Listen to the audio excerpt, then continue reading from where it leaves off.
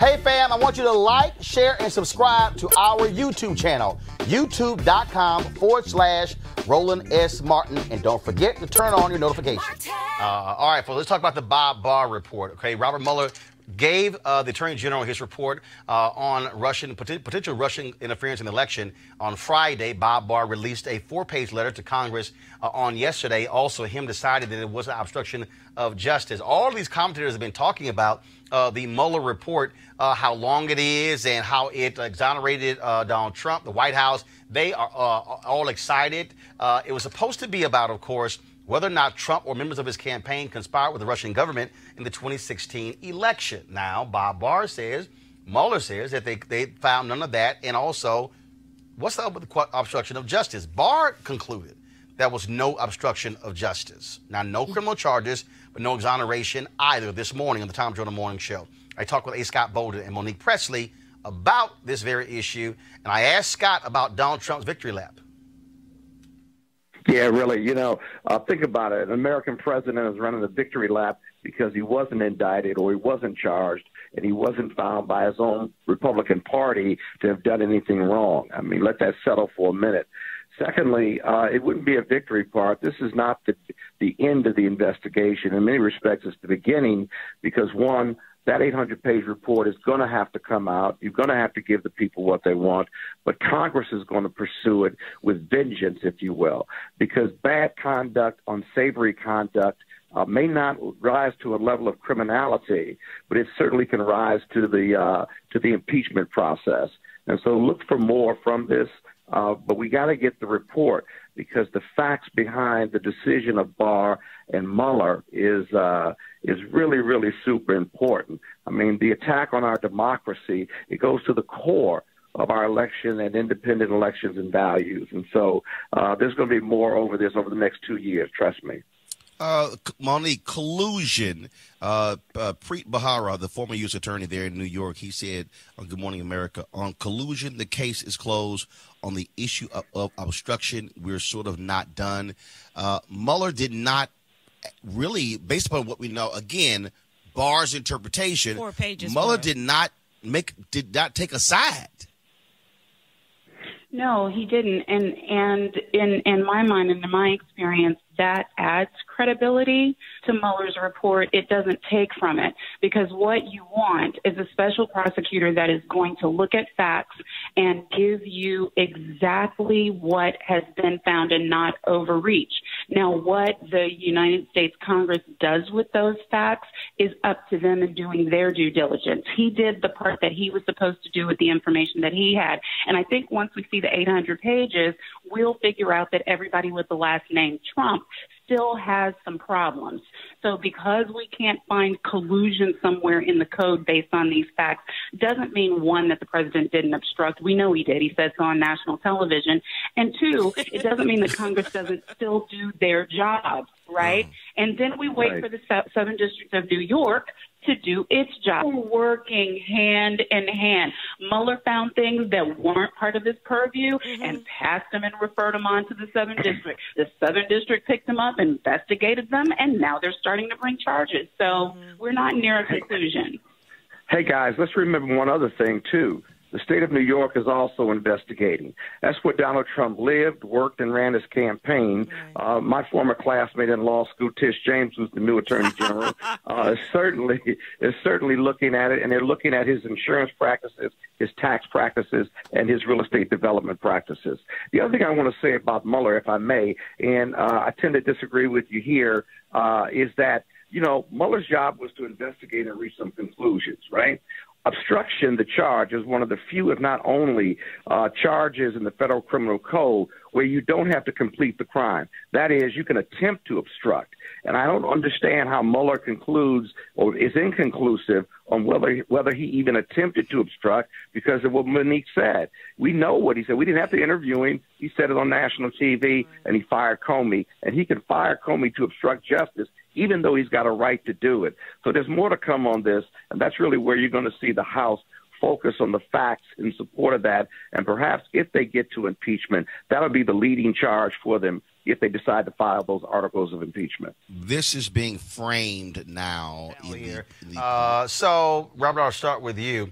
Again, all these people saying what the Mueller report says, in the Barr letter, he paraphrased, no complete sentences, paragraphs. We don't know what the hell Robert Mueller said. We have Bob Barr's interpretation of what Robert Mueller said.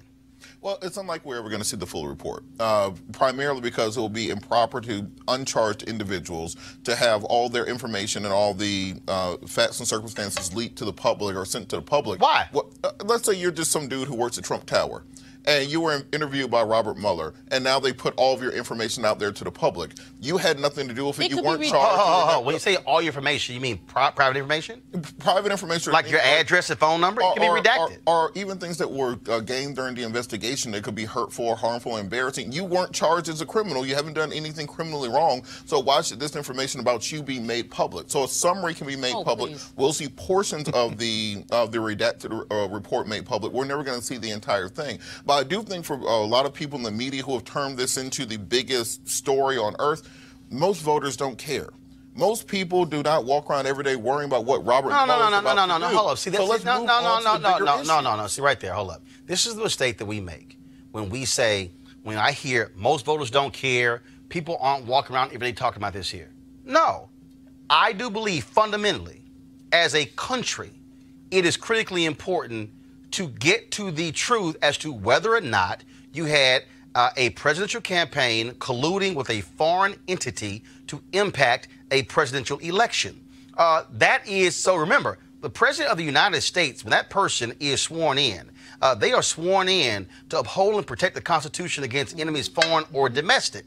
And so, uh, so it's not a question of well, folks walking around. First of all, people walk around every day are worrying about all kinds of stuff. I could apply that to nearly everything. There's no one thing that every voter or majority of people are just worried about every single day. But it still is an issue. It is an issue, Roland. And the thing about it is, as you said, I mean, you open the show up absolutely correctly. We no one has seen this report. So the fact that Barr has summarized 800 pages into four suggests that there's a whole lot of stuff. You know, they say the devil is in the details, and you tell the devil is there with this from 800 pages of four represents like giving us 2%.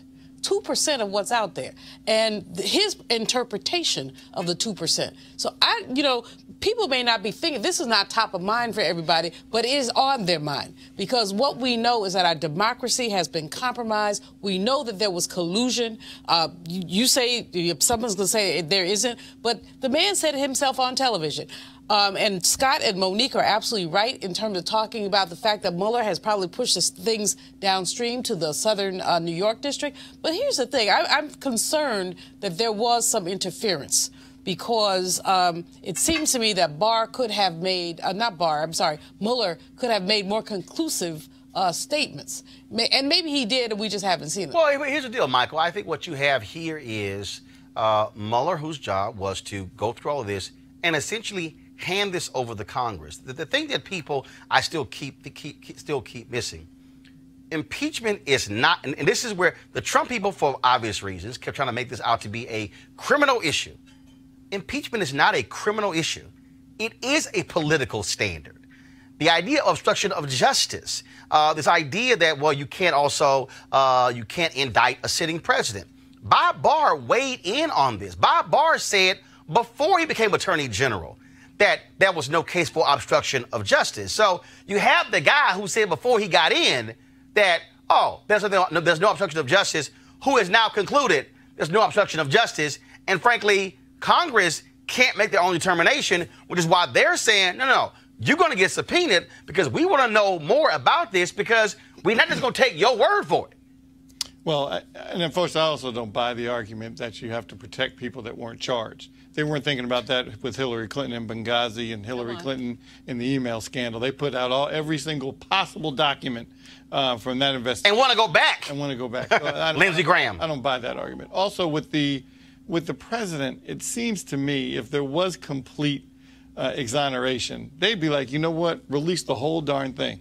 They don't want to release the whole darn thing. No. They, they, don't want any breadcrumbs out there. In fact, today, Senator Mitch McConnell blocked Senator Chuck Schumer well, uh, from uh, passing something to say release the whole deal. Remember, the House voted Yes. 422 0 To zip. to release it. That's right. That includes Republicans. That's right. I wish that that um, the uh, Mr. Mueller would have put in a sentence saying, related to obstruction, let Congress figure it out. I Well, but they'd here's the deal, though. and that could be in there. We don't know. I mean, correct. That and, could and, be in and, there. and that, that really is part of the issue, Robert. What we don't know. That the fact that we are being asked to take the word of a Well, Trump appointee Yeah. who wrote a document before he became attorney general, basically saying this is a waste of time, it shouldn't be done, there's no obstruction. That's essentially making your mind up before you actually got to be the referee for a game. But, but th- this is the issue. We say we need to find out what the facts are. Robert Mueller's been investigating for two and a half years. Right. We spent $35 million, 19 lawyers, hundreds of FBI agents, thousands of pages of documents. If that hasn't turned up the obstruction and the collusion that people are looking for, what No, no, else no. are we? No, no, no, no, no, no, no, wait, no, no, wait, wait, wait, wait. But here's the problem, though. Here's the problem, though. Mueller did not make an opinion on obstruction. Okay, his task was not specifically uh, just obstruction. First of all, there are a number of people who he did get indictments from. Also, a number of people also convicted. The other issue that you have to raise is they asked the judge to del- delay the sentencing of Rick Gates until May. How do you stop an investigation and the sentencing for somebody is still two months away. There has to be a reason why you want a delay of the sentencing that says you still have some work to do. That makes no sense. Well, none of this makes sense, Roland. I mean, the fact is that Mueller has a reputation of being a Boy Scout, uh, down with the truth, et cetera, et cetera, et cetera.